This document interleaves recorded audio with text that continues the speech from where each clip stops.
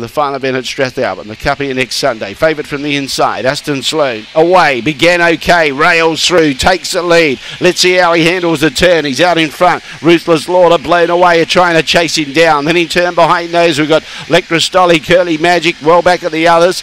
Well back was Cosmic Wonder and Crown Jester. Last favourite home. Aston Sloan wins. Second blown away. Third Lectrostoli. Um, very tight for fourth. Ruthless Lawler in a waiting in a photo there. Uh, then he turned behind those Curly Magic. Crown Jester pulled up at the tail end of the field. And uh, the time is uh, pretty good. Sub 18 by the looks, around 1790.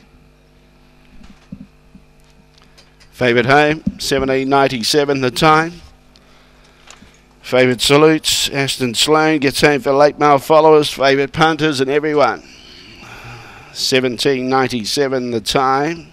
172, 172 between four and five for fourth. It was tight. Number four gets there. 1724. 1724, the judges' numbers. 598 was the early split. That was all the favourite. The time, 1797. The run home good, sub 12. 1199.